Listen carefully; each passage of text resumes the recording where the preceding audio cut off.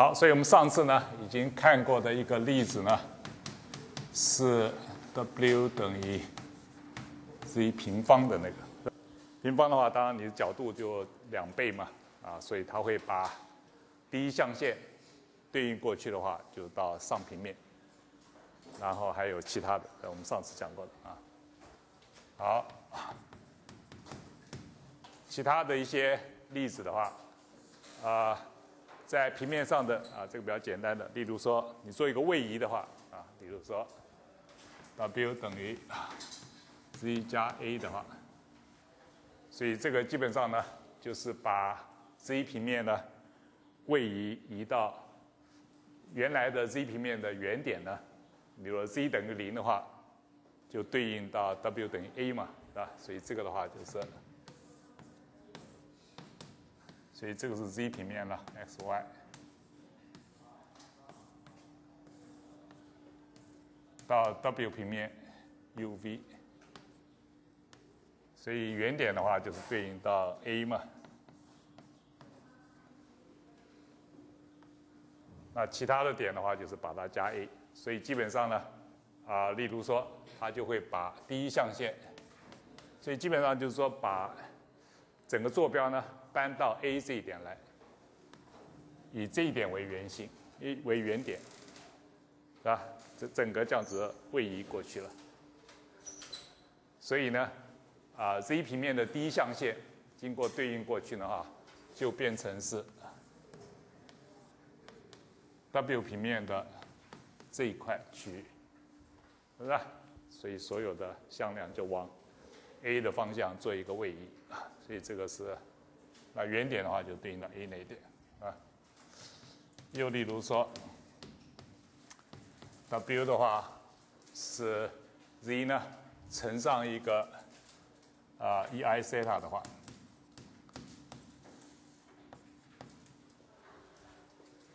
那这个的话就是一个选，所以这个是一个我们说是一个 translation 啊把 A。那这个呢是一个 rotation，把这个角度 set，是吧？因为你如果把 z 呢用这个 exponential form 表出来的话，就是 r 的一，哦，这边已经有，那是叫一 t 塔零好了。啊，塞塔零。那么，c 呢？如果用 r e i 西塔 exponential form，我们前面讲过，第一章有的啊，表出来的话，那这个很容易可以看出来呢，是 r 的一的 i 的西塔加西塔零，是不是？所以也就表示说呢，它的绝对值的长度啊。是仍然是保持 r 了，呃不呃绝对值还是保持 r 是吧？角度的话就多了一个西塔零，所以这个变化是什么呢？就是啊任何一点 z 的话，原来的是西塔，经过这个变化之后呢，到这个 w 平面的话，就是跟原点的距离还是保持了。啊，这一段还是 r 了，但是呢，角度多了一个西塔零，所以也许是这个样子，w 是吧？所以这边本来是在这里了，这一段就是西塔零了，这个是西塔了，是吧？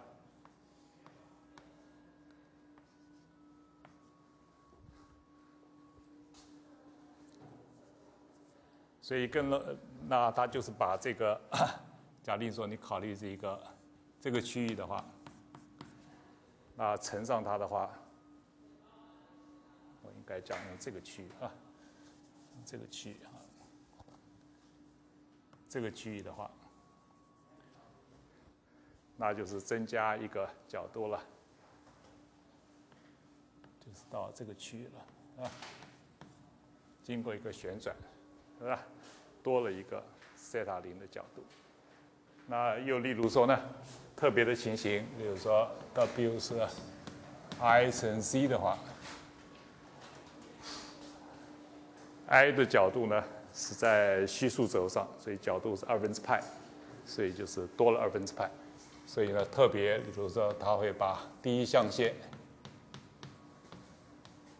对应过来的话，多转了九十度，是吧？I 是九十度嘛，所以就是到上平面，是不是？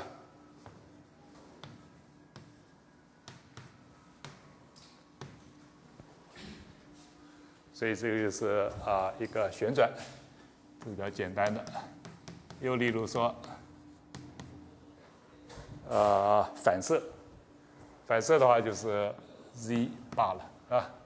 对 x 轴的反射的话，那就是把，例如说上平面，如果对应过来的话，反射到下平面。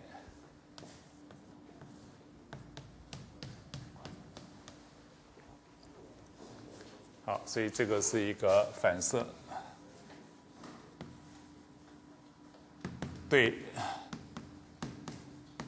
x 轴的反射，是吧？对 x 轴的反射。好，这几个例子其实都是算是蛮简单的。下面呢，我们再看一个稍微复杂一点的例子，啊，是怎么样子呢？所以这个就比较复杂一点了。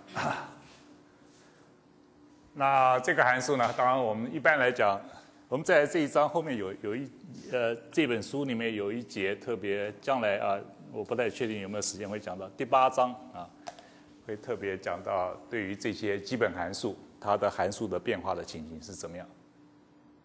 OK，那我们这边只是举几个简单的例子来说明了啊，细节的话在第八章还会再碰到。好，那这个函数的变化是什么呢？所以我们现在并没有什么啊一定的方法说来看，只是就试就是了，是吧？你就观察这个式子，然后有不同的值带进去，看看它会对应到怎么样的区域啊。所以呢，你看这个的话，当然第一个你注意到的，这个函数呢，如果你取这个 z 的倒数的话，它是不变的，是不是？所以假定，也就是说呢，假定这个叫它做 f z 的话，f 的 z 跟 f 的 z 分之一是一样的，是吧？因为这个是 z 分之一，这个变成 z 了，就并没有变。所以表示呢，如果你取一个倒数的话，这个函数这个对应的情况是一样的啊。好，那我们就只只是完全是视差法了。看说它会变化是怎么样？例如说，我们先看说 z 如果是在实数轴上的话，啊，这边是实数轴。实数轴呢，例如说你把 z 用一代的话，这个当它它在零点没有定义了，是不是？所以它的 domain 是什么呢？是整个复数平面扣掉零点。对应到复数平面，在零这一点是没有定义，是吧？其他点都可以。所以零这一点，我我们限制到实数轴上，零这一点不行。然后呢，我们试试看，比如说，啊，z 如果用一代的话，就对应到二去了，是不是？所以这个是 z 平面了，对应到 w 平面啊。所以这个呢，对应到二这一点，所以这边是一的话，就对应到二。那如果你这边比一大的话，一比一大，你可以再试几个值，是吧？如果趋近于无穷大的话呢？趋近无穷大的话，这边是趋近零，这边是也会趋近无穷大，所以你可以判断，你几个值试过之后呢，你就晓得，如果是在这一块线上的话呢，就应该对应过来呢，就是在这个线上，二以后后面的这个线上，是不是？然后呢，我们再看零到一之间，当然它不能是零了。零到一之间的话，事实上因为就利用这个对称性了，因为要倒数嘛，是吧？这个是比一小的话，它倒数就比一大嘛。所以这边的点跟这边点实际上对应到同样的区域，是吧？所以你也可以，比如二分之一啊等等，试几个值的话，就可以晓得呢，这一块区域除了零以外，零是没有的，是吧？这块区域呢，对过来呢，也是对应到这块区域，是吧？从从一慢慢接近零，它趋近零的话，也是趋近无穷大了，是吧？所以说，这两块呢都重叠的定义都会对应到这边来。然后呢，你再看呃负负的零到负一的话呢，当然这个算的话，例如说负一的话，这个就是负二了，是不是？所以会对应到负二。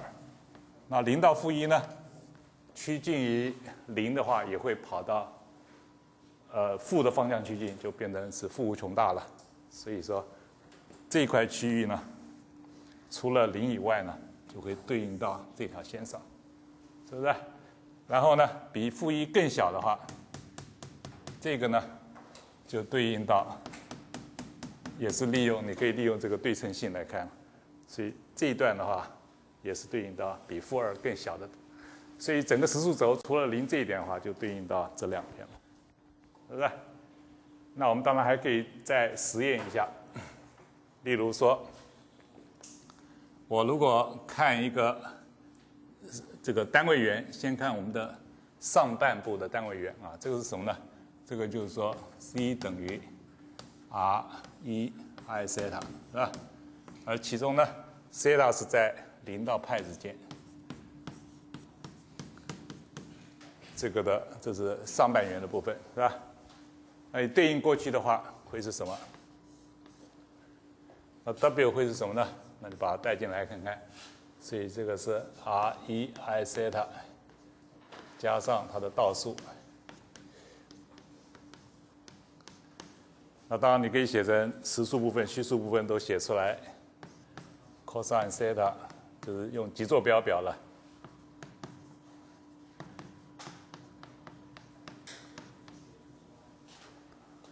好，对不起，如果我是限制到这个单位圆上的话，事实上这个 r 等于一了，是吧？我就不需要考虑这个 r 了。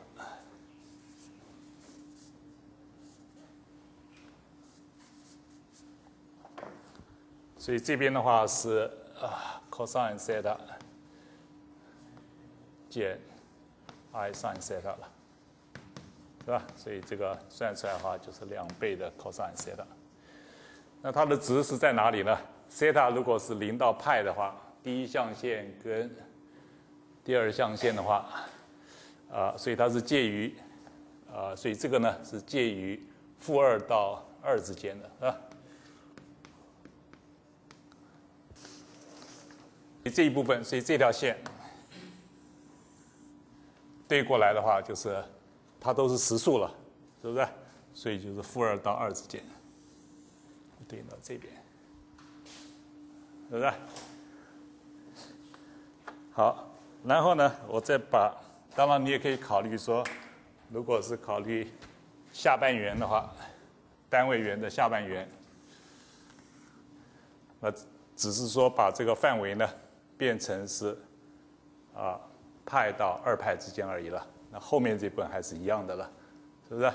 所以呢，啊，那对于 cosine 来讲的话，上面和下面事实上是相等的值，是不是？啊，对，所以这边的值跟这边的值同一个角度的话，正跟负的话是它是一个偶函数了，是不是？所以呢，啊，表示这个黄线部分呢，单位圆的这个下半圆呢，也是对应到这边来。是不是？负二到二之间。好，我们最后呢再试一个，就是我刚刚这边所算的了。啊，如果是啊把半径呢考虑进来的话，也是暂时先限制到上半圆来看的话，这个会对应到什么？所以呢，如果我考虑的是比假定呢，我这个半径呢取暂时比一大好了。暂时是这样子，是吧？所以暂时呢，这个考虑这个上半圆。那这边呢，半径是 r 的话，就这个，是不是？好，那你就啊，这边的话，这个带进来，所以是 w 是等于啊，这个展开来啊，所以就是我刚刚所做的了，r 的 e i 西塔加 r 分之一的 e 的负 i 西塔。然后呢，这个极坐标展开来，然后把这个呃实数部分、虚数部分合并在一起，啊，我看看，好，虚数呃实实数部分、虚数部分合并在一起。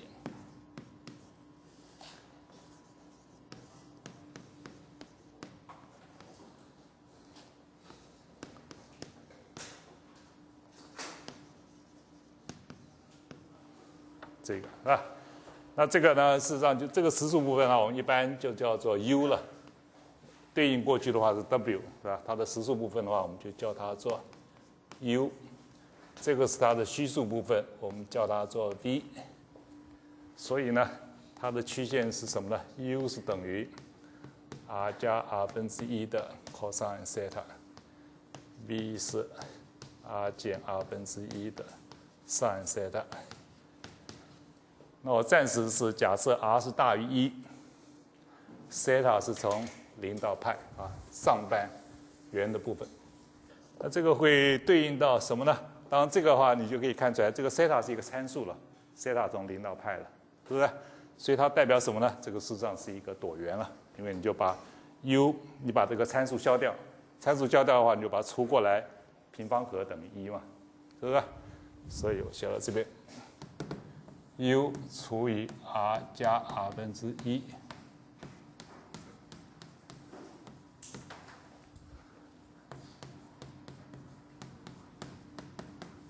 所以这个就表示一个椭圆嘛，是不是？呃，大概是半个椭圆。那半个椭圆在这里是什么呢？呃，你可以看出来，它的半长轴是 r 加 r，这个这个量就是半长轴了，是以中心点是。原点嘛的一个椭圆是吧？这是半长轴，半长轴是跟二比是哪一个比较大呢？因为我想想把它画画画出来啊，位置是怎么样？这个很容易验证了。如果 r 大于一的话，这个呢是大于二的。当然你就，例如说两边平方一下什么之类的，两边平方减一下的话，凑成完全平方是大于零啊。OK，所以表示什么呢？它的半长轴的话在这里。R 加 r 分之一是大于二的一个量，那这边的话就是负的 r 加 r 分之一。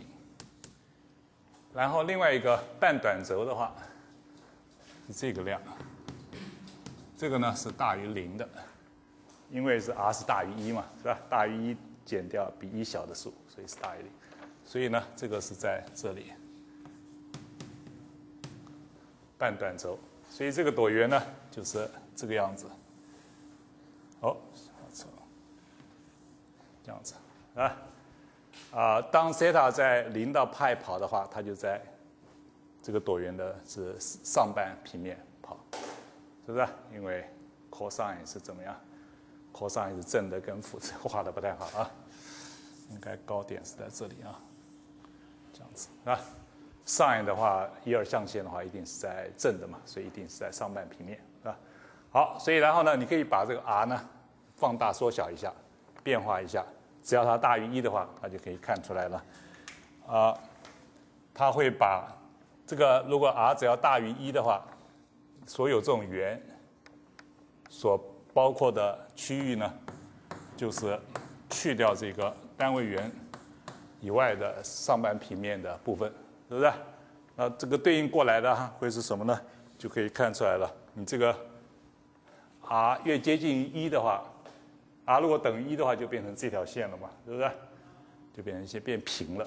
否则的话呢，它就是这个，啊，这个半长半长轴的话，就稍微过来一点，这样子一条一条，是不是？这样子一条一条的这个椭圆嘛，上半面的椭圆。所以表示什么呢？这一个的话，如果你包括再包括这边 x 轴的话，那就可以得到整个上半平面了。所以表示上半平面扣掉这个单位上半平面的这个单位圆的话，在这个对应之下呢，就对应到上半平面去，是不是？那你说这个下半平面什么呢？事实上可以做同样的事情啊，啊，不过呢，你要考虑到我我只要做上半平面就好了。为什么呢？因为这边有这个对称性，是吧？所以这边是大于一的部分，它的倒数的话就是小于一了，z 分之一。如果如果这个是在在这个区域的话，绝对值大于一嘛，那这个 z 分之一的话就是绝对值是小于一的。所以事实上呢，这个下半平面，所以这个话就是对应到这个里面来了，是吧？所以呢，你可以类做类似的事情呢，可以发现呢，这个下半平面的这个单位的半圆呢，也是对应到，也是对应到这个区域里面来的，也是对应到这个上半平面。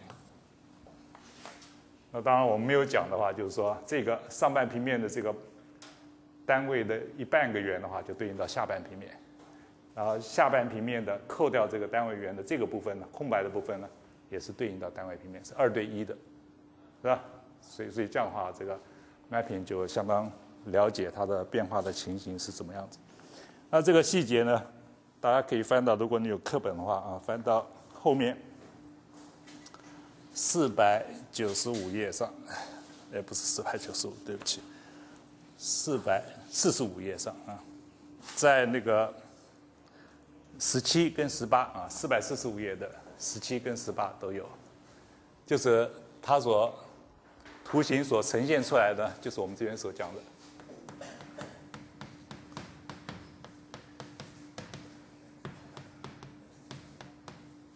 所以你看看这个十七跟十八的考虑的 mapping 呢，就是我们这边这个 mapping，w 等于 z 加 z 分之一，它会把上半平面扣掉那个上半平面的单位圆的话，对应过来就是上半平面，是吧？然后，如果是一个环状的话，当然，因为这边可以看了，这个蓝线跟红线部分的话，包夹的部分的话，对应过来的话，就是这边的话就是一个，呃，这个因为因为这个这个单位圆的话，上面嘛就对应到这蓝线部分嘛，所以对应到一个椭圆的呃一半上半部，是吧？所以基本上就是我们之前所讲的。那这些细节，当然这些因为呃这个附录里面这些呢都是就是。工程上比较常用到的一些图形了，所以他就把这些常用的图形这个都画出来。那你说怎么会得到这些呢？基本上就是这样，就试嘛，就用不同的值试试看，带进去算一算，啊，简单的这个高中数学大概就可以大概可以看出来它变化是怎么样。所以其他的话这些例子呢，在这个附录二里面都有啊，所以我们细节的话就不再讲了。当然，这个第八章还要更仔细的讲到啊，不过不太确定我们是不是有时间会讲到那边。好，所以这个再加一个习题。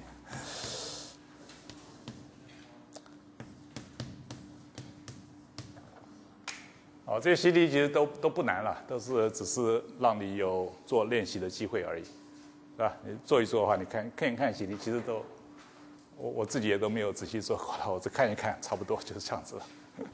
好，下面呢，我们就看这个啊十四节了啊，所以要讨论这个极限。那基本上呢，这个极限呢是跟你们在微积分所学的是差不多的啊，所以我们就很快的讲过去啊啊。这个要讨论极限是为什么呢？因为后面其实后面主要的，我们这个第二章里面主要的内容呢，要讨论的是微分了，就是解析函数嘛。解析函数就可微分函数了，是吧？它的一些性质，我们在第一节课的时候讲过，为什么要，呃，就看起来定义就跟那个微积分的那个微分是很类似，但是它后面所隐含的性质是非常，啊，是一个很强的一个条件，所以可以得到很好的性质啊。那要讲微分的话，你要考虑这个极限。但这些极限呢，大部分跟微积分呢是差不太多的啊。基本上就是说，微积分里面是实变数，你把那个实实变数呢变成负变数、负数的话，那基本上是差不多的。所以呢，我们就很快的呃，算是复习一下啊。所以呢，呃，我们这个函数呢，考虑呢是定义在一个复数平面的一个子集合。那么这个子集合呢是。或者是叫做一个 domain，或者叫做一个 region。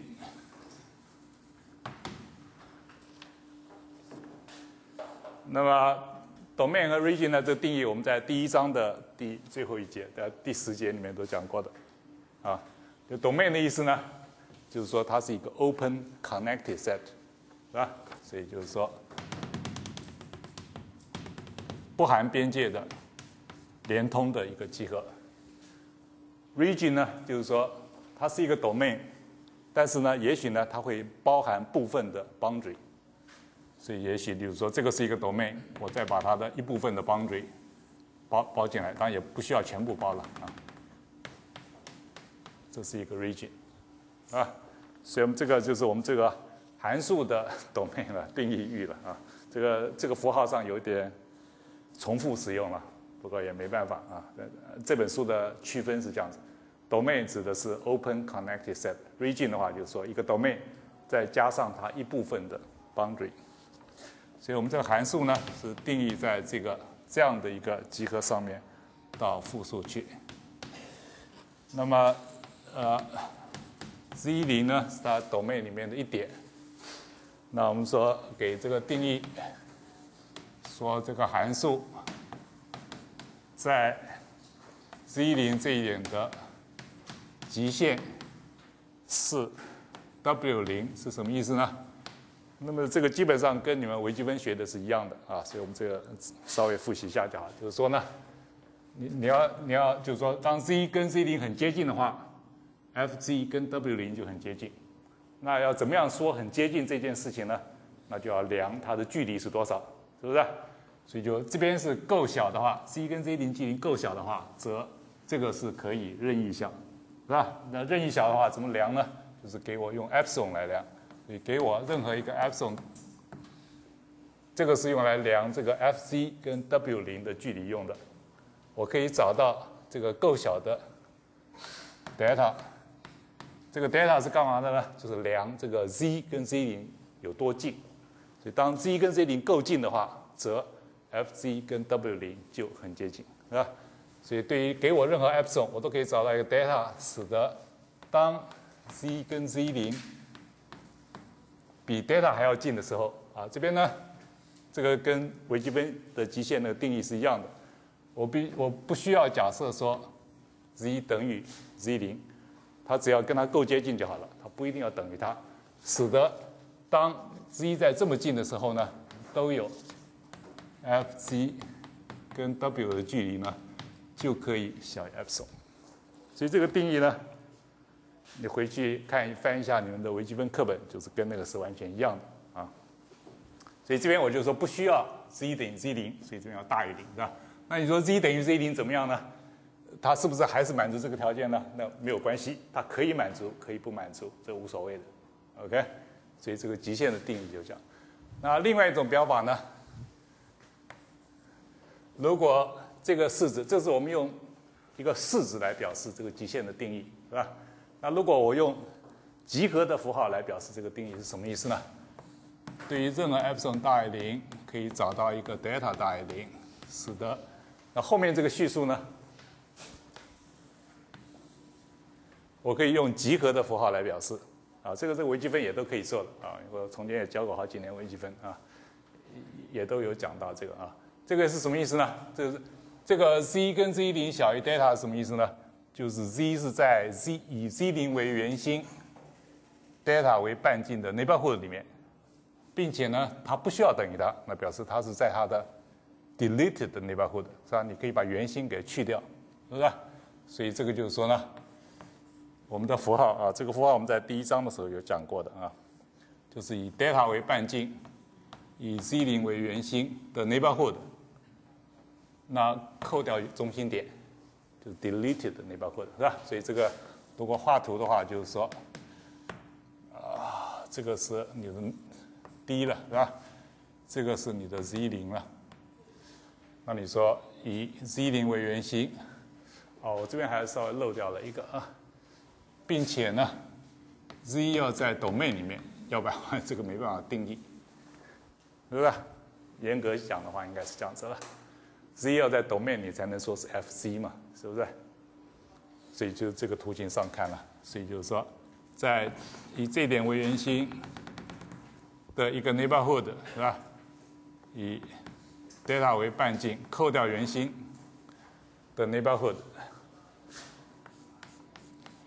在它对应之后，这是 z 平面了，对应的 w 平面了。对应之后，所以就这种在 z 在这个里面的话，z 在这个里面的话，z 在这个里面的话，它被 F 作用，是吧？所以就是说把这个集合呢，把 F 作用，是不是？把这里面的 z 呢，每一点每一个 z 呢，都把做 F 作用，然后呢，作用之后呢，就必须在这个内包括里面，它满足这个条件，就是以 W 零为圆心，epsilon 为半径的内包括的。那这符号怎么表呢？就是说，这个作用之后要属于这一个 epsilon 为半径，W 零为圆心的内包括，是不是？所以这个同这个是这个上面这句话跟下面这句话是同一件事情，只是表示的方法不一样。上面这个是用这个式子不等式这些表的，下面这一句话呢是用集合的符号表示，啊，但是它的意思是一样的。所以呢，就是说呢，这个是 W 零。然后以 epsilon 为半径的这个 neighborhood，是吧？那就是说呢，你如果你这边取的够小的话，它经过它对应之后呢，就把它对到这个里面来了，对到这里面来了，是不是？所以这个黄线的部分呢，就是 f 的 n 的 delta prime 的 c 零，是吧？它要属于那个内包括，所以这个是用集合的符号表示了，是吧？就是符合这个条件的话，我们就说这个极限是 W 零。好，所以这个因为这个定义都跟这个微积分是一样的，所以我们不需要花太多时间在这上面啊。如果有疑问，回去翻翻你的微积分的课本，那个里面通通有。唯一的不同就是我现在是复数，过去是实数啊。我们只举。两个例子来说明就好了，好吧？就不需要花太多时间在这个上面。第一个例子呢，是证明一个极限。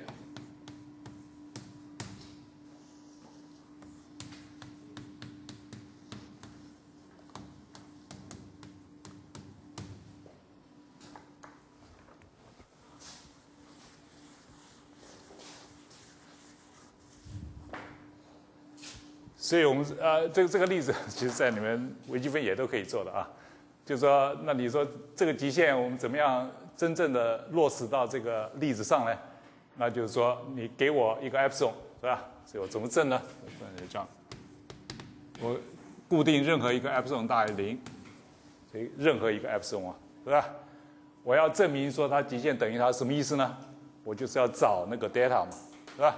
所以我现在要找。Delta，delta 是怎么样子呢？符合那个条件，那那个条件是什么呢？我就把它具体的写出来，就针对这个例子呢，具体的写出来，那就是 z 减二 i。我现在的 z 零的话就是二 i 了嘛。这个这个这个极限很显然，你事实上你把它带进去一看就是这个东西了，是吧？所以我们这个并不是说你真的要算它的极限，这个你要算极限是很容易的一件事情，你把它带进去就是了，是吧？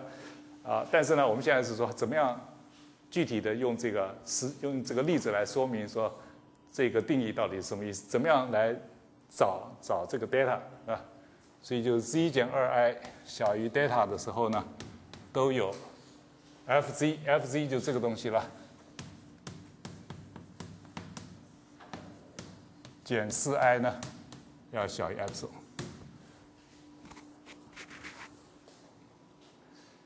所以这个 epsilon 是已经给了，你就不能动它。你你能能做能做的事情就是要找这个 data，data 是你要找的，是吧？epsilon 是什么？你你不能动了，反正就是某一个大于零的数就是了，是吧？那你说怎么找呢？这个找就是微积分的时候的做法啊。我我觉得我是上微积分的时候就是就是这样做的。所以如果你们修我微积分课的话，就再回想一下就是这样做的。我们从结论往前找，是不是？要不然的话，你说这个怎么找？无从找起嘛，是不是？那我就从结论。我要什么，然后从我那个结论往前推，我我要这个东西，我就怎么样？要要要使这个不等式要成立，所以这往往前推论是吧？这跟我们一般的论述呢这个方向稍微反过来啊，一般的是这个所谓的演绎法，是吧？我们这是倒推回来的方法。所以我我要的是什么？我要的是呢，这个要小于 epsilon，我想这个最后我我我要它小于 epsilon，是吧？那你怎么样从这边会达到那个目的呢？那就是一般最常用的工具呢，就是三角不等式，是不是？所以呢，你这边啊 好，那你我我我第一个三角不等式，我先把这个是实数部分了，这个是虚数部分了，是不是？所以这个很显然的，小于等于二 i 二 x 加上 y 方减四，是吧？我现在还不晓得怎么找了，不过我就是慢慢的一步步做，边做边看了，是不是？我最后只要小于 epsilon 就好了嘛。那我在找的这个过程里面呢，我我我要求的每一步，如果从这个这个一步一步的过程里面呢，就可以找到我的，呃，我我要达到这个目的的话，我就可以找到我的 delta。好，然后再怎么办呢？这个就是想了，是吧？再怎么办呢？那你就很很显然了，这边是 y 方减四嘛，就可以分解因式嘛，是吧？所以能分的话就分嘛。所以二的 x 加上 y 减二乘 y 加二，是吧？这个 epsilon 我把它写到再远一点啊。反正最后是要达到那个目的嘛，是不是？好，然后再怎么办？这边好像就没有很明显的说要要怎么做了，是吧？不过呢，我现在回到这个前提上，因为这是我的假设，我现在还没用到，啊，所以我要用这个假设。呃，我我就把这个假设呢，所以我就是结论做一做。做不下去的时候，我再套假设做一做，然后再看看从这边有没有假设有没有办法帮助我结论再往后推，是不是？好，那你说这个东西是什么呢？这个东西的话，很显然，OK，这个东西的话，我就把这个假设呢，我这个 data 当然我还不晓得是什么呢，不过我现在就先先想嘛，是吧？先先做做看，先假设有这个 data。好，那这个 z 的话就是 x 加 i y 了嘛，减二 i，是不是？这个又是什么呢？这个话就可以算了。这个实数部分就是 x 嘛，所以这个绝对值的话就是 x 方加上虚数部分就 y 减二嘛，y 减二的平方，是不是？好，所以就是说这个东西小于 delta，这是我的假设，是不是？那你又可以看了，这个当然的实数部分就是 x 了，所以这个实上又这个绝对值当然是大于 x 了，啊，x 绝对值好了。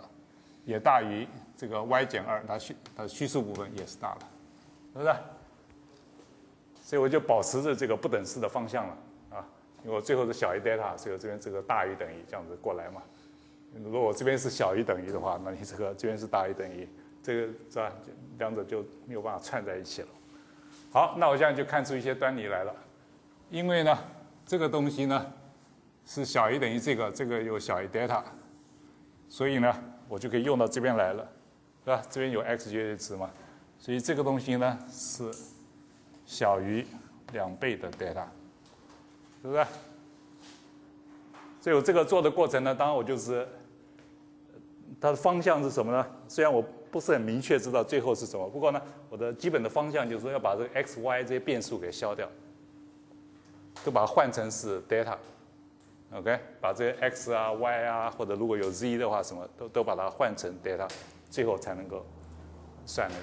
所以这个把 x 这个绝对值呢，先换成小于 delta 嘛，是吧？然后呢，y 减二有没有？哎，y 减二也可以。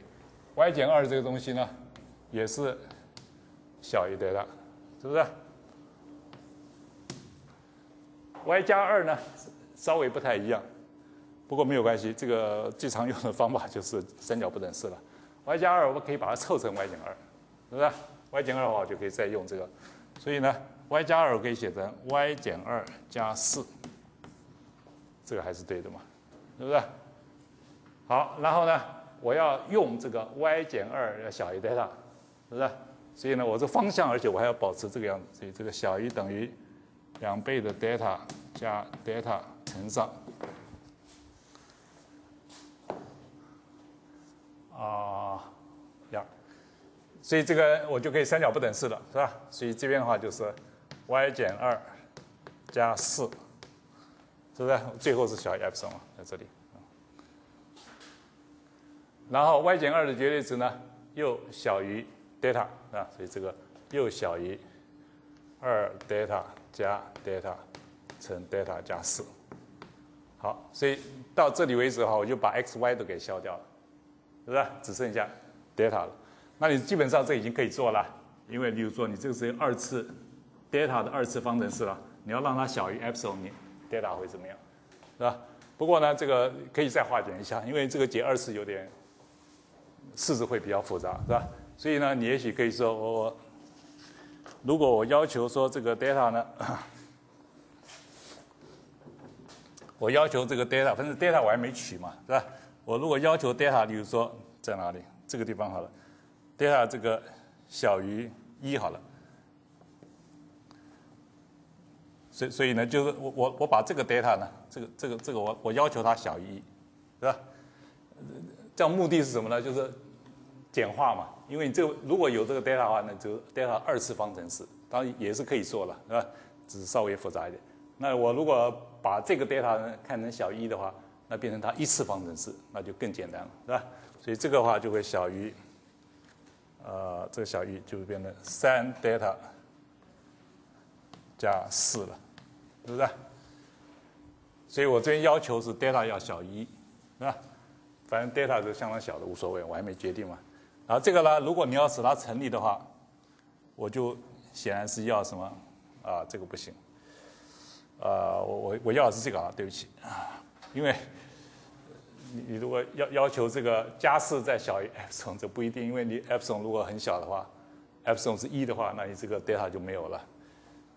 是吧？你就会变成负数了。我 data 要正，所以我刚刚讲错了，应该是把这个小一好了，这个小于，反正也无所谓嘛，是吧？我保留一个，反正这边有两个 delta，我把其中的一个把它小于，所以这样的话就变成 delta 乘上一加四等于五了，是不是？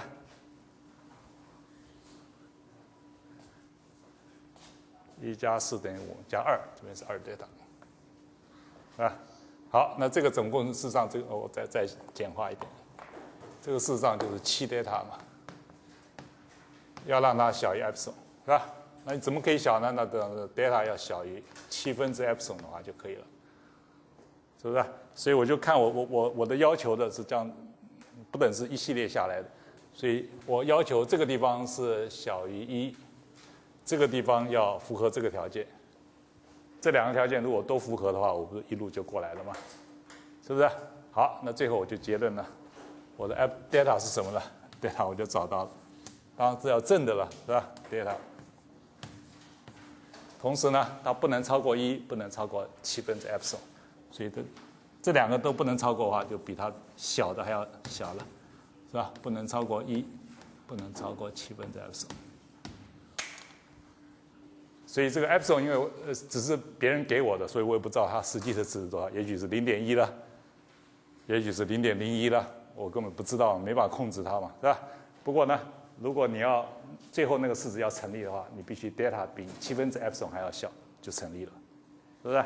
所以呢，这个就是沿沿路的过程，我来判断说怎么样可以把这式子化解，怎么样取我的 delta，是吧？如果 delta 是很小的，当然它一定要是正的了。要要多小的话，就可以使我这个不等式一路这样过来不会，呃，都成立，是吧？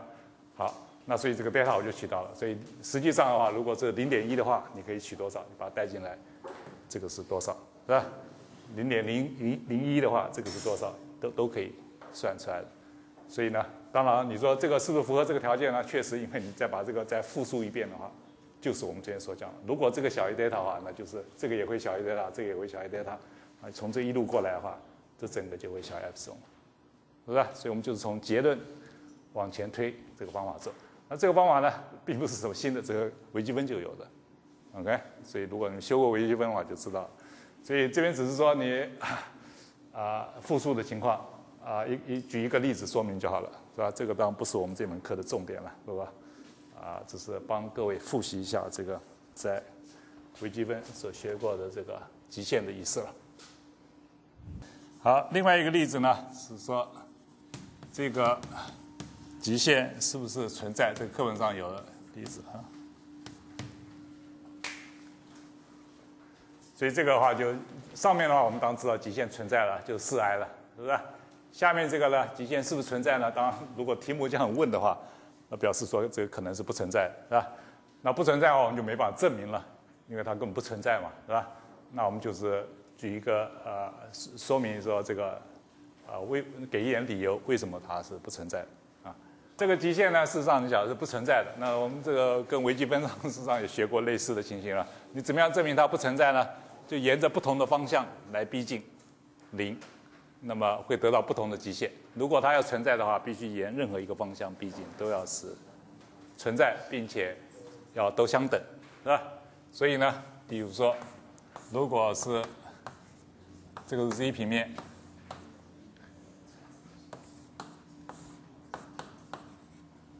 如果说你是最常用的这个例子，就是沿着 x 轴、y 轴来逼近嘛，是吧？所以你就说。让 z 呢等于 x 的实数是吧？逼近于零。那这样子的话呢，这个极限呢，如果它趋近于零的话，沿着这个 x 轴逼近的话，那就是说相当于 x 趋近于零了。那这边的话是 x，那这个它的共轭复数的话也是 x 了。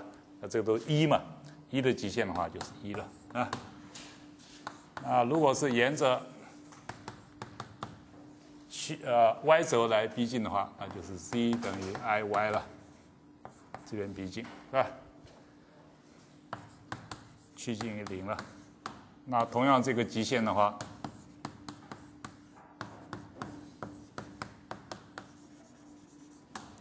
就相当于 y 会趋近于零的。z 的话就是 i y 了，它的共轭复数的话就是负 i y 了，那你这个一约的话就是负一了，负一极限的话就是负一了，是吧？所以你沿着不同的方向趋近于零的话，得到极限会不同，所以表示说这个极限呢，所以得到结论的话，就是说这个是不存在的啊。当然，你也可以严格的用 delta epsilon 的那个定义来看了，就是说这边的，因为你这边小于零的这个 neighborhood 里面，一定会有从 x 轴方向的跑跑进来的这个那帮货的也有从 y 轴跑进来的那帮货。啊，你这边跑进来的话，越来越逼近一了，都是一嘛。这边的话都是负一的，所以所以就不可能有一个共同的数作为它的极限了，是吧？好，所以这个我们就举两个例子就好了。一个是说正面的，你要证明说这极限是某一个数；一个是反面的，说证明说某一个状况、某些情况之下呢，这个极限是不存在啊。因为这个都跟这个微积分学的是一样的了，所以我们就不需要花太多时间在这里。然后极限的一些基本的性质，那这些性质呢，也都是跟微积分时候是一样的，所以我基本上也都不证了啊。只是叙述一下就好了。第一个呢，极限呢，如果有的话呢，一定是唯一的。所以如果万一有一个极限算出来，一种方式算出来是 w 零，另外一个方式呢是 w 一，那结论呢是说 w 零呢一定要等于 w 一。那这个在课本上是有证明的啊，不过我这个事实上那个证明呢，跟你们微积分的证明是一样的，所以我就不做了啊。啊，如果用口头叙我就不写了。口头叙述的话，就是说你用反证法，w 零如果不等于 w 一的话，导出矛盾，是吧？如果 w 零不等于 w 一的话呢，那 w 零减 w 一的绝对值就是大于零。你就可以把那个当做你的 epsilon，是不是？epsilon 一定要大于零嘛。所以如果万一 w 零不等于 w 一的话，你把它相减，取绝对值，那就是大于零了，就相当于 epsilon 位置。然后呢，用那个定义把它写出来。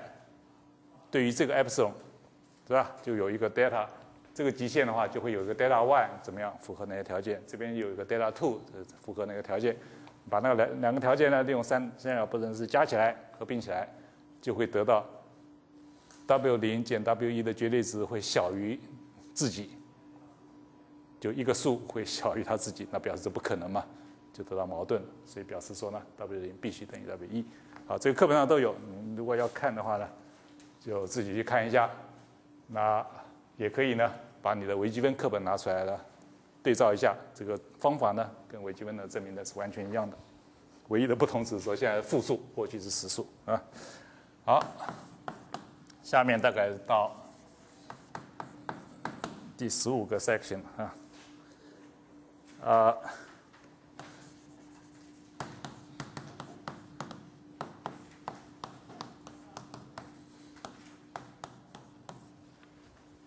啊，f 的极限呢是 w 零的话。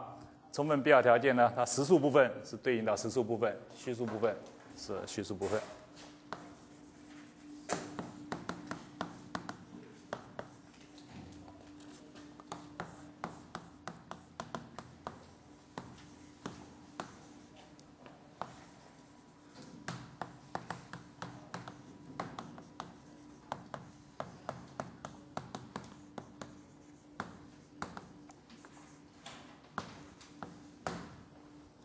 这个书本上倒是没有这，我稍微讲一下，这个反正很简单了啊。一个方向，如果 f 的极限是 w 零的话，你要证明右边，是不是？那只是呃一个不等简单的不等式就是了，就是你要证明右边的话，就是证明这个东西要任意小了，小 epsilon 啊，是不是？那你就跟原来的那个比较，那这个实数部分了。实数部分事实上就合并起来嘛，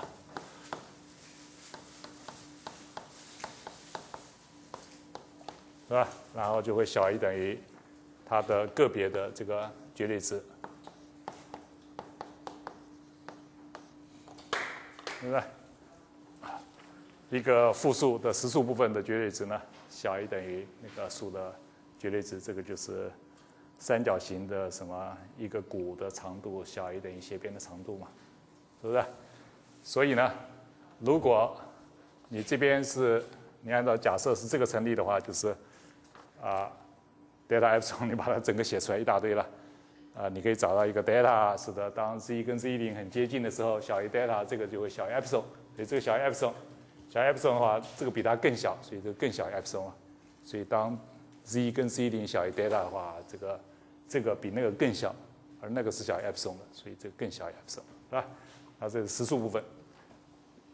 所以，所以这个这个其实你只要把那个定义啊完整的写出来的话，其实就出来。所以基本上就是这个不等式了。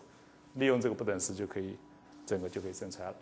好，这是实数部分，虚数部分类似，你把它实数部分换成虚数部分，几乎是完全一样，是吧？反过来。假定实数部分啊极限是实数部分、虚数部分、虚数部分的话，那为什么原来是也是一个不等式了？因为我现在叫反方向的一个不等式，是吧？f c 减 w 零我要相当小，是不是？但是呢，你这个东西就可以写成，因为这个可以写成它的实数部分加虚数部分。减去实数部分，减去系数部分，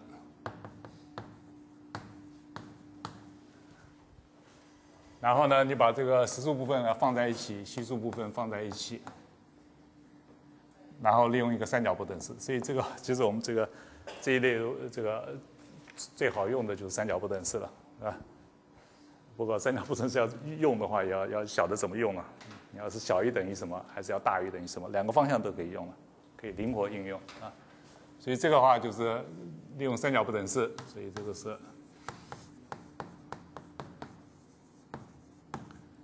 加上这边是 i 的话，绝对值等于一嘛，所以就不需要考虑了。这个东西是吧？好，剩下部分我就用嘴讲了啊。就是说呢，你是假设右边，所以表示有一个 delta one，你这个极限存在嘛？有一个 delta one，当 z 跟 z 零小于 delta one 的话，则这两个相当小，就是这个会小于 epsilon 嘛，是吧？或者小于二分之 epsilon 嘛，无所谓了，是吧？这个极限 z 跟 z 零的距离小于 delta two 的话，另外一个 delta 了，是吧？则这两个距离呢，就会小于也小于个二分之 epsilon，所以呢，加起来小于 epsilon，而这个呢比这个更小，所以呢，如果你那个 z 跟 z 零的那个距离呢比 delta one 这边的 delta one 跟 delta two 都要小的话，那这两个都要成立了，那所以那两个都要成立了，啊，再利用这个不等式，一连串下来都要成立了，所以 f z 减 w 零呢就会小于 epsilon 了，那这个就是说它极限是。等于 W 零的意思了，是吧？所以后面的部分我就用嘴巴讲，我就不不实际写下来了。因为各位是修过这个微积分的啊，所以我是假设要修过微积分的，所以觉得啊这个太难的话，那 表示可能不适合在这门课上啊啊，或者呢你要回去 你微积分忘记了，回去翻翻你的微积分课本啊。剩下的话性质呢也都跟微积分上都一样的，你可以做加减乘除啊，所以。课本上好像对于加法什么也也还有证明了，不过那个证明呢都是跟微积分是一样的，所以我们都跳过去就不讲了，只是写一下。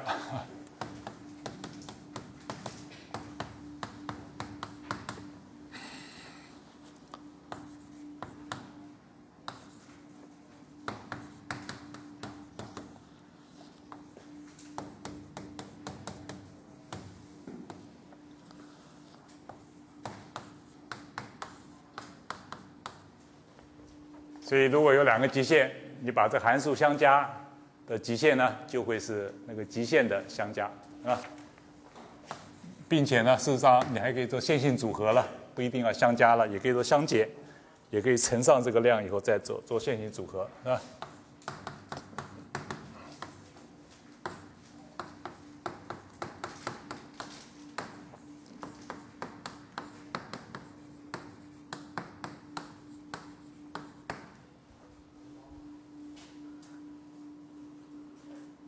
这个是是课本上都有证的，不过我们都都都不正啊，都跳过去了啊。那就是这个就包含了加法跟减法了，是不是？看你取适当的去 a b 的话，那乘法呢也是可以的。如果说原来是有这两个极限的话，你把它相乘。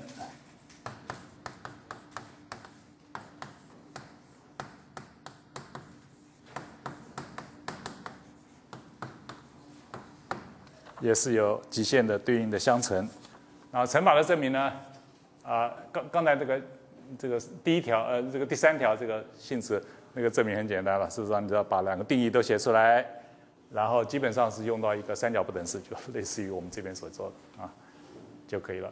那乘法的话就稍微稍微复杂一点啊，不过这个我们也还是跳过去了，因为 微积分课本应该有了。然后除法的话也是一样了。然后除法的话，我必须是这个啊除的那个分母不能为零了，所以我这边还要再加一下，w two 不为零。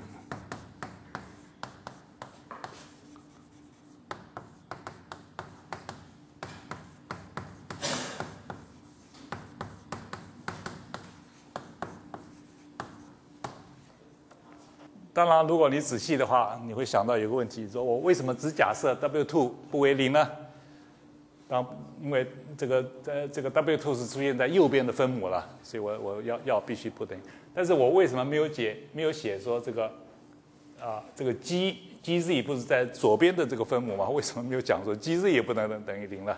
我这个这个呢啊是因为呢其实是因为下面的原因，因为如果 w 不等 w two 不等于零的话，因为这个趋近于它嘛，如果这个不等于零的话，那么 g 因为跟它很接近嘛。所以，当 z 跟 z 零非常接近的话，这个就跟这个很接近。所以，这个是不等于零的话，跟它很接近的也不会等于零。所以我这边就不需要讲了，不需要特别讲，是不是？就是我只要说 w two 不等于零，那就可以保证说，当 z 跟 z 零很接近的时候呢，这个 g z 呢也不会等于零。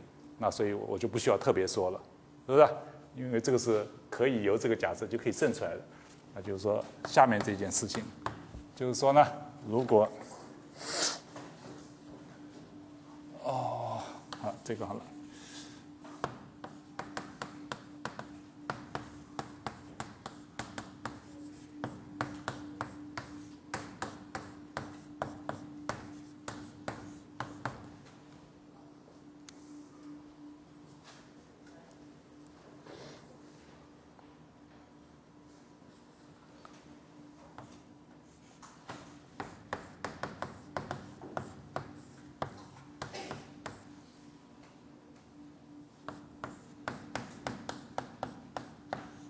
这个就是我们刚刚这就是上面这条第五条这个啊用到的了，事实上就隐含在这个第五条里面了，是吧？就是说我只要假设说这个极限不等于零的话，那当 z 跟 z 零很接近的话，则这个 gz 呢也不会等于零，所以我我可以把它除下来啊，就是用到这一条啊。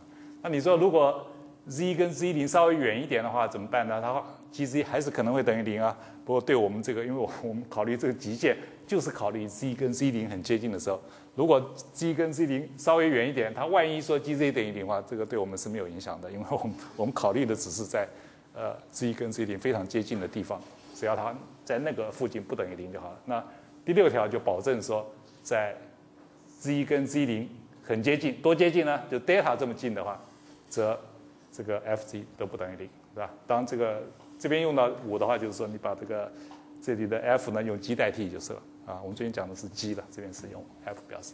当然这句话呢也可以另外一句呃另外一个表法就是我们可以用极限的用用集合论的方法来表的话，就是我们就是啊这个意思就是说 z 是在 z 零的这个 deleted neighborhood 是吧？就是 n。Delta 为半径，z 零为圆心的 deleted，因为你这边不需要啊 z z 不需要等于 z 零。那你说如果万一 z 等于 z 零怎么怎么办呢？其实是无所谓，这个因为不在我们的关心范围之内。z 如果等于 z 零的话，f z 零可以是零，可以不是零，对我们都我们可以不管它，对我们这个一一点影响都没有，是吧？我们关心的是说在。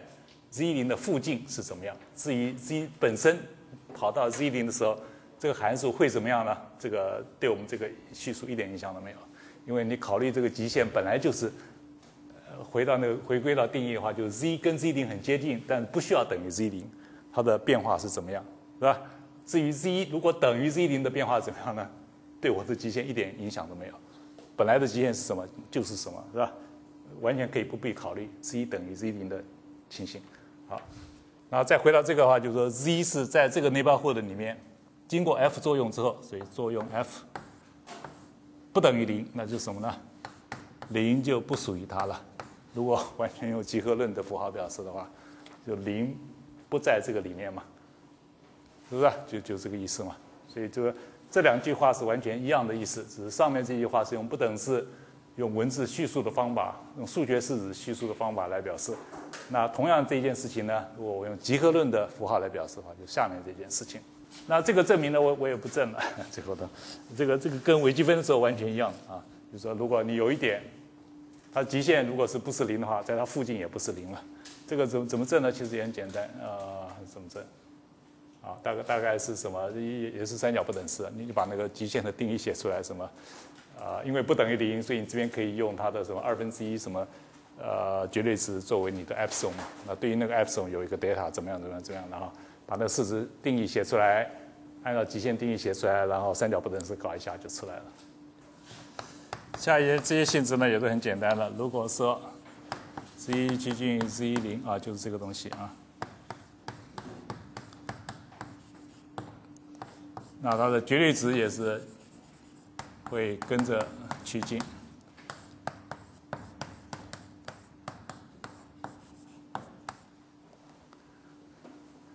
那这个证明呢，也只是一个不等式，是因为这很简单，我就写一下啊。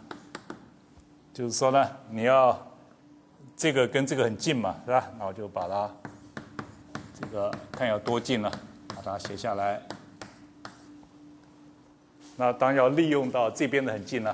那就是这个不等式跟前面的就这个也从这个三角不等式来的了，这个是小 a 等于 f c 减 w one 了，对吧？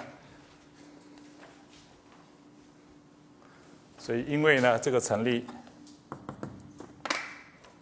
所以呢当 z 跟 z 零非常接近，小于 delta 的时候呢，这个呢就会小于 epsilon。那这个比它更小，所以这个更小 epsilon。所以当 z 跟 z 零小于 delta 的话，这个会小于 epsilon，那就是这个定义了，就是这个极限了，是不是？所以这个很简单。所以绝对值是可以，然后它的 conjugate 也是对应过去。这个当然你可以把实数部分、虚数部分利用前面那个结果做，或者呢，如果直接做的话，就是说一个不等式，也是一个不等式，跟那个完全类似的。因为这个话是事实上是等于啊，对不起，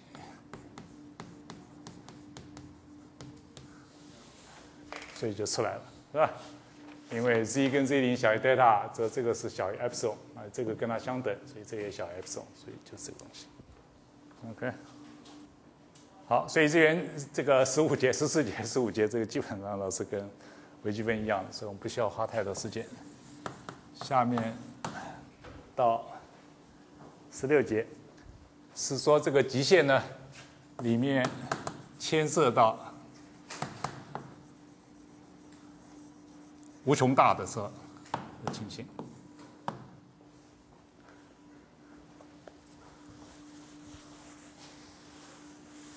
那么复数里面的无穷大呢，跟实数里面的无穷大呢稍微不太一样啊。啊，实数里面的话，因为考虑的就在这个实数轴上嘛，是吧？所以它有两个无穷大，一个是正无穷大，两个方向是吧？一个是负无穷大，这是在实数的时候。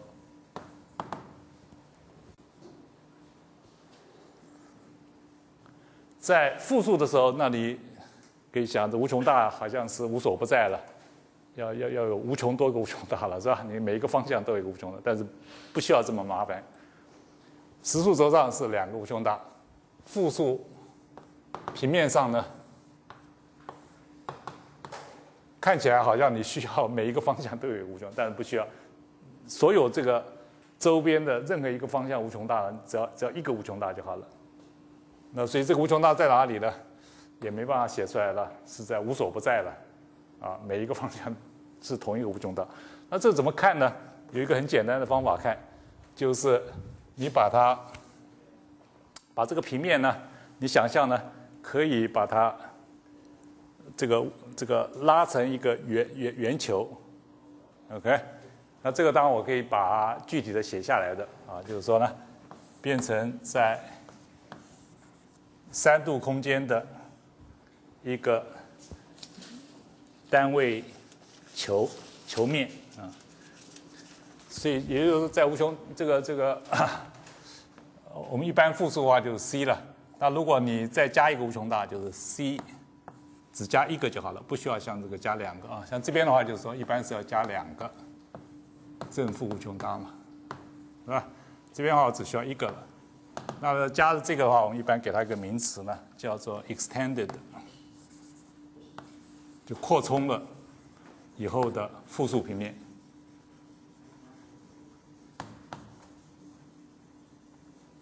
就多加一个无穷，因为有些情况的话，你有了无穷大会稍微方便一点啊，所以另外再多加一点叫无穷大。这个你说无穷大在哪里呢？事实上是无所不在的啊，就是在在每一个方向都可以说它哪一个方向都可以的。好，那怎么看这件事情呢？那我们就是把它啊，你这个复数平面呢？就是看成是在这个三度空间的啊 x x one x two 的这个平面，OK，这应该是什么画？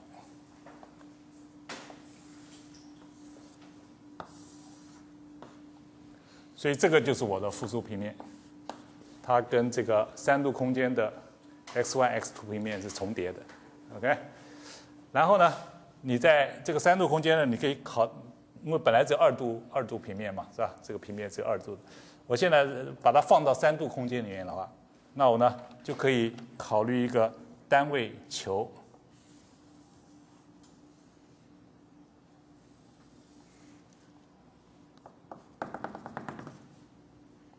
这个画的对不对？这样差了，好吧？所以这个球呢，一般给它一个名字呢。叫做 Riemann sphere，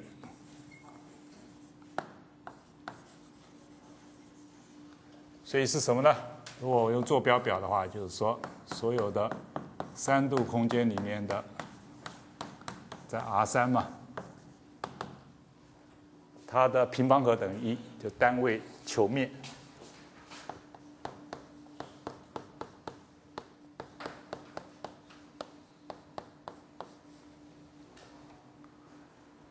好，那这样子的话，你可以想象呢，这个平面呢无穷延伸的嘛，你把它对到这个球，但是呢，唯一的没有办法对到的点呢，就是北极点啊。北极的话，这个坐标就是零零一了，是吧？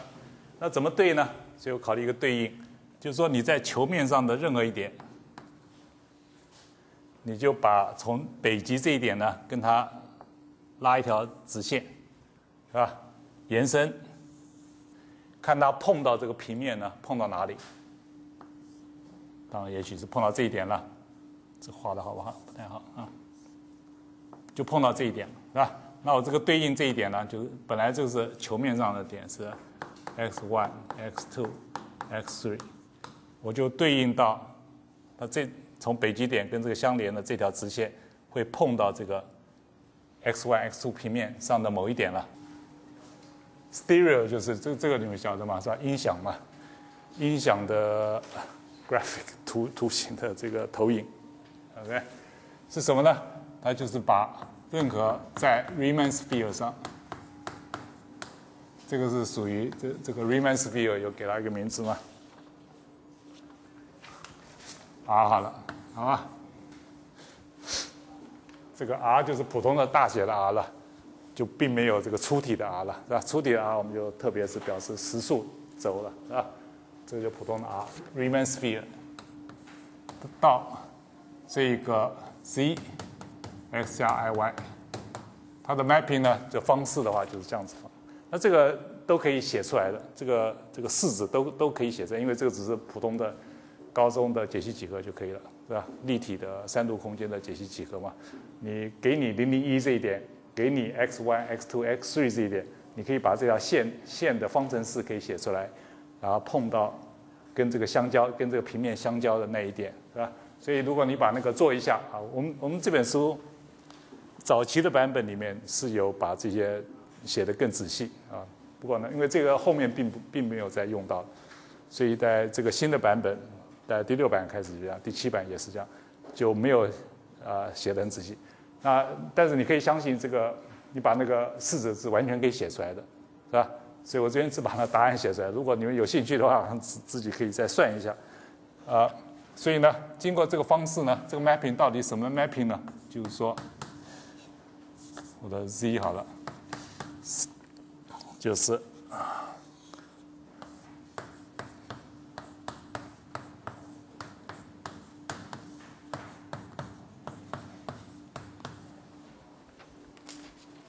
这个就是我刚刚讲，就你把那方程式零零一这个北极点跟 x one x two x three 这两点啊直线的方程式写出来，这个要用参数表法了啊。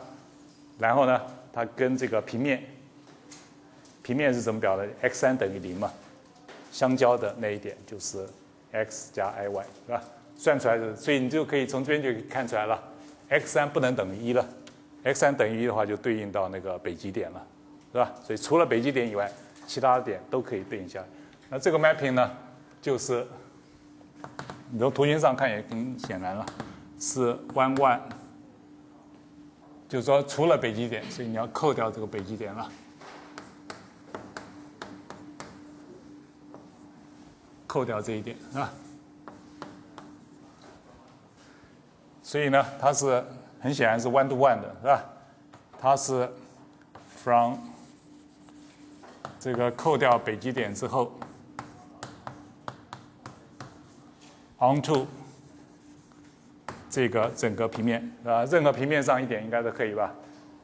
任何平面上一点的话，你就反过来做嘛。任何平面一点的话，你就把它跟这个北极点连起来。那个线呢，它一定会交到这个 Riemann sphere 上的某一点，那那一点就是我们就反过来这个 mapping，是不是？所以是 one one onto 的一个 mapping。同时呢，你可以看出来，它的上半这个上半球面对应到哪里？如果你那个 x1、x2 x3 在上半球上半球面什么意思呢？就是 x 三大于零嘛，是吧？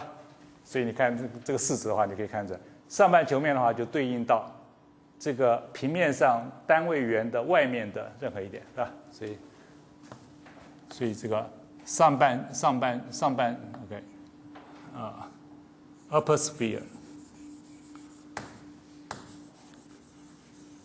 这个意思就是说是 z 三 x 三 x 三大于零的意思了，啊，就对应到所有的 z 的 z 的绝对值是大于一，单位圆外面的点，是不是？那如果是下半平面，意思就是说 x 三小于零的话，就对应到下半平面，对应到这我这图画的不太好，要不然你可以看得更准确一点，z 是小于一。那当然了，如果是 Riemann sphere 的话，当然扣掉这一点的话。啊，对不起，不应该是这个啊，啊，如果是 x 三等于零的话，那就是那个圆了。那个圆的话，根本就已经躺在那个 x one x two 平面上了嘛。你在相连的话，就对应就它自己嘛，是吧？所以就对应到单位圆了，是不是？好，那这样的话不是有点不完美吗？你这边有一个北极点，这样没有 没有东西对应，那所以非常自然的，我们就把它对到无穷原点就是了，是不是？所以呢，我们说，那你说无穷原点在哪里呢？当然是看不到了，任何地方都可以的，反正就是在无穷远了。不过呢，如果你把它看成是 Riemann sphere 的话，那事实上就是说把这个平面呢折成这个单位球。那刚好的缺了这一点，那无穷远呢就对应到这个北极点，是吧？所以呢，你可以再把这个扩充，把北极点就对应到无穷远这一点了。那这样的话就是说，你把这个无穷远加上，呃，这个平面加上这个无穷远点，刚好就是一个很完美的这个一个单位圆了，单位圆球了，是不是？所以这个就非常自然的一个。所以在有些情况的话，你用这个球面的办法来看的话，就很自然。那什么情况呢？为什么要讲这个呢？这主要就讲无穷远这个，当然觉得好像是有点虚无缥缈啊，但实际上你用球面看就很简单了。所以我就问说，无穷远点的 neighborhood 怎么定义？你在有限点的话，neighborhood 就是说画一个圆盘嘛，是吧？那无穷远点怎么定义呢？那也可以很容易的，由这种方法就可以定义了。为什么呢？因为你可以想象说，这个无穷远基本上就是这个北极点了。那么它的无穷远，它的 neighborhood 是什么呢？就是在这个 Riemann sphere 上的一个，以这一点为圆心的那个一个在那个啊 Riemann sphere 上的一个圆盘嘛，这个曲面的一个圆盘，这就是北极点的 neighborhood 嘛，是吧？那你这个圆盘的话，那你我现在再把它对应到平面上的话，应该是什么呢？这这应该可以想象。这个对应过来的话，就是对应到在这个平面上的话，就是啊某一个以原点为圆心的一个圆圆盘的外方嘛，是吧？因为你这个在上半平面嘛，如果是很小的话，就在上半上平面的话，就是在单位圆的外面嘛，是吧？单位圆外面嘛，所以就是。它对应过来的话，就是对应到，就看你的这个这个半径有多少了。半径如果非常小的话，这个对应的话就是非常大了，是吧？非常大的一个圆盘的外外面的那个部分。所以以这个方法来看的话呢，我就可以很自然的定义这个，呃，无穷圆内的 neighborhood。啊，要不然的话，你说这个定义是怎么来的呢？其实就是这样来的，就是由由这边可以看出来的。所以我就定义以。无穷原点作为中心点，r 作为半径的 neighborhood 是什么呢？就是所有的平面上的点，它绝对值呢大于这个某一个 r 的那些所有点，是不是？所以呢，以这个方法来看呢，就是这个非常自然的一个方法来，就可以定义这个。无穷远的 neighborhood，所以如果你把它画到平面上的话，就是这个半径 r 的这个东西。所以任何一个 r 的话，所以这个东西就是无穷远的 neighborhood 了，就相当于我们一般的有限点的内包户的话，就是跟它对应的情况。所以这无穷远在哪里呢？当然就是在外面了，在无所不在了，所有方向都有的一个点了，是吧？好，那有了内包括观点，我就可以讨论这个，呃，有无穷远的这个极限了。那基本上有三种类型了，一个就是说，这边是有限点，但是呢，这个极限是无穷远，这是什么意思呢？那就完全可以用这个 neighborhood 的概念。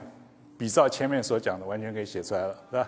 这就是说呢，z 跟 z 零非常接近的话，那用 epsilon 来量。如果这个非常接近，则这两个非常接近，是吧？这两个很接近，什么意思呢？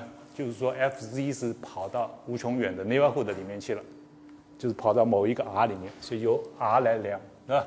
所以存在一个 r，使得当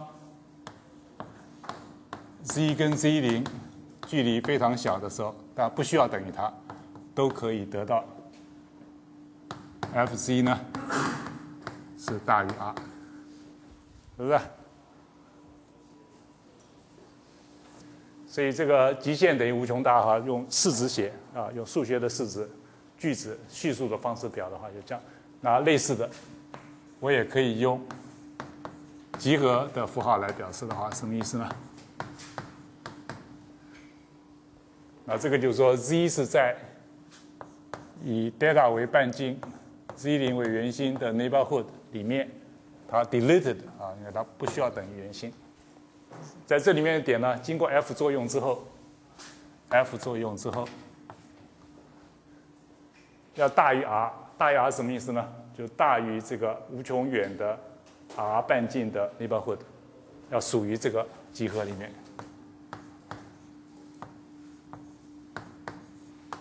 所以这样的话，就跟那个前面所讲的，啊，有限点的时候，那集合那个极限的那个完全是一致的了，是吧？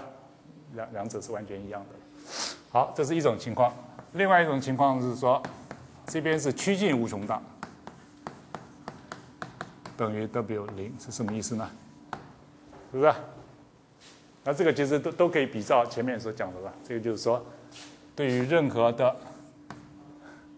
这个是要量这个的，是吧？所以 epsilon 大于零。哎，我这边是写有点写错了，是吧？啊，我这写错了，哎，写反了。这边是量这个话应该是 r 了，对不起啊，存在一个 delta 这样子，是吧？你说这个很接近的话，就是说它绝对是要大于 r 嘛，用 r 来量多接近嘛，是吧？这边的话只是用 delta 来量啊。这样啊，这边的话，你说这个接近用 epsilon 来量，这边很接近的话用 r 来量，使得啊 c 如果大于 r 的话，则 f_z 跟 w 会小于 epsilon，是不是？那如果用集合的符号，这这边这边这边也要改了啊，啊，这边是 delta。这个呢，就是说，for all epsilon 大于零，存在一个 r，使得这个 neighborhood r 无穷大的 neighborhood 经过作用之后，会属于 epsilon 的 w 零的 neighborhood，是不是？呀，这样子。好，最后一个就是也趋近无穷大。那个极限呢，也是无穷大，是不是？前面一个说极限是无穷大，第二个是说趋近无穷大，第三个又趋近也是无穷大，极限也是无穷大，是吧？这个所有的有无穷大的极限的话，就这三种状况。这个是什么呢？就是说你要量这个，所以是给我任何一个 r 大于零，我可以找到另外一个 r 大于零，我就用小写的 r 了。使得呢，当这边很接近的话，都有这个很接近，是不是？那如果用集合的符号表呢，也也是可以的。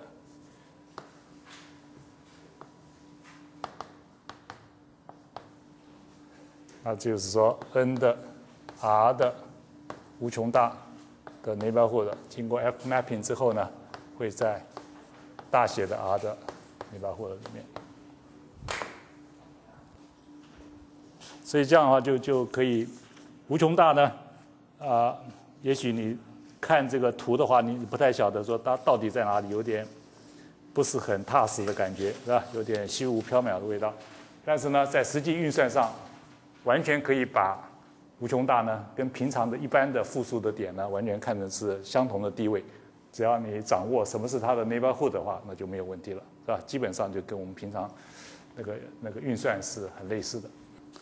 好，下面呢，我们也是只是举一个例子说明就好了啊。这个跟呃微积分的话稍微不一样，微积分就有两个，一个正负无穷大了，是吧？我们现在只有一个无穷大，我们只只要举一个例子说明就好。例如说。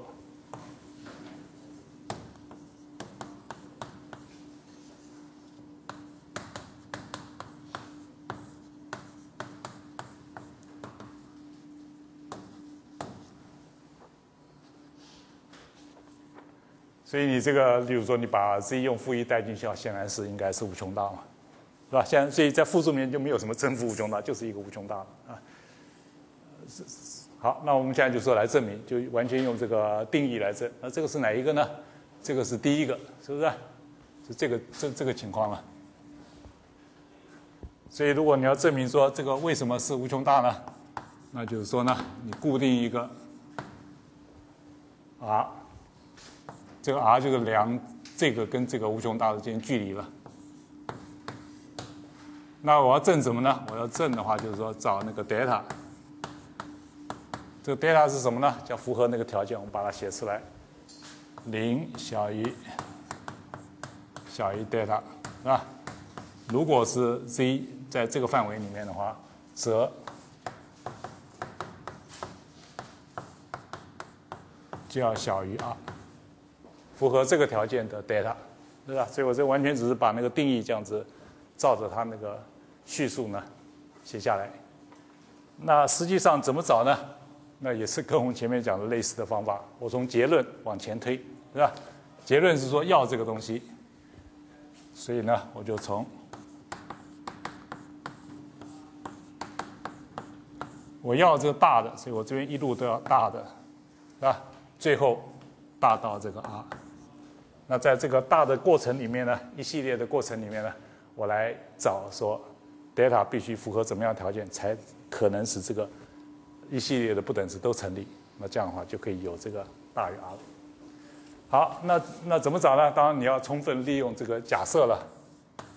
这边有一个 z 加一小于 delta，所以这边有没有这边这边现成的分母是一个 z 加一了？所以我我这个过程里面呢，就是要把这个 z 给消掉。Z 是一个变数嘛，我把变数变成 data 的东西，OK，跟我们前面那个例子是一样的啊。把把这个变数呢尽量消掉，那怎么消呢？那就是边做边看了，是吧？我们就尽量利用这个东西。所以第一步，先把这个小于 data 这个倒数的话，就是大于 data 了，是大于 data 分之一的，是吧？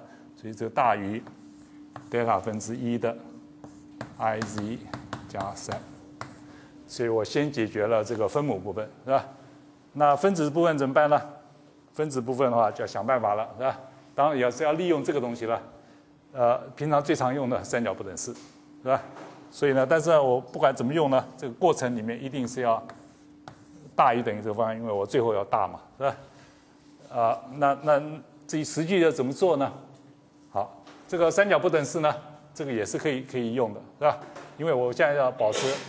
大的方向，所以你三角不等式你可以小于等于什么？如果是小于等于的话，就是 z 的绝对值加三的绝对值。但是那样的话我就不行了，因为我要大于等于，是不是？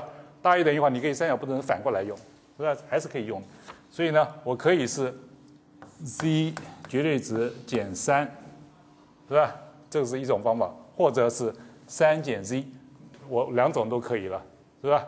但是呢，我要哪一个呢？你可以试试看啊，嗯，这个是不行的，所以我们三减去 z 哈，你你可以是 z 减三，也可以三减 z 了啊，你两个都试试看。然后呢，我还要继续保持大于等于的，所以你要做这一步的话，那我就想说，这个大负的这个大于等于，所以就 z 要小于等于什么才行嘛，是吧？那你要利用这个了，那是 z 要小于等于什么呢？那你可以想这个，这个是 z 加一的，我知道这个是小于 delta 嘛，对不对？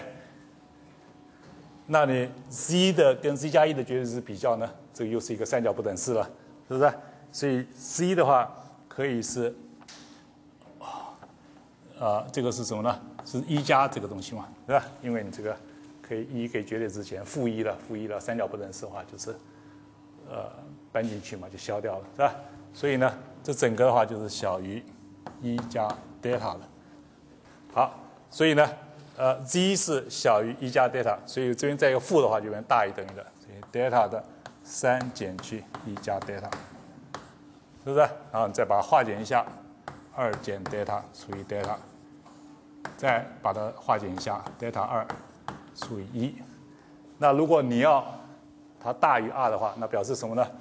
那就表示说这个要。二 delta 要大于 r 加一，或者呢，把这再搬过来的话，就是 delta 要小于二除以 r 加一了。所以基本上到这里的话，已经把 z 都消掉了，只有 delta 嘛，是吧？啊，最后的话再来看一看，怎么样可以取怎么怎么取 delta 会使得它大于 r，所以你说取这个就可以了，是吧？好，那最后的结论就是说。我就找到了这个 delta 什么 delta 呢？第一个它一定要是正的，另外呢不能超过这个数，这样就证完了，是不是？所以如果你取这么小的 delta 的话，当然看你 r 而定了，r 越大的话，你的 delta 就越小了，是吧？如果你证这么小 delta，那一路都可以过来了，那就没有问题了，是不是？好，我们今天就上到这里啊。